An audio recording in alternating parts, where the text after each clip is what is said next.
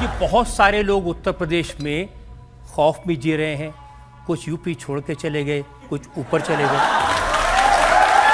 भगवान राम ने जो बात कही थी निस्सरहीन करो मही वो चुटाए प्रण कीन तो हम तो राम भक्त हैं। इनके लिए हमें एक ऐसा एटमोस्फियर तैयार करना ही होगा।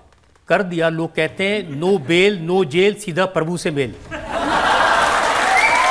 तो ऐसे लोगों की राम नाम सत्य है कि यात्रा भी तो निकलनी चाहिए।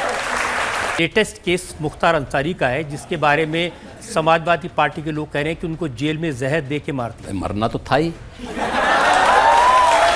जियाउर रहमान उन्होंने कहा हमारे शाहबुद्दीन भाई साहब अतीक अहमद भाई साहब और मुख्तार अंसारी भाई साहब को इन्होंने ऊपर भेज दिया। अब देखिए ऊपर गए हैं कि नीचे गए हैं?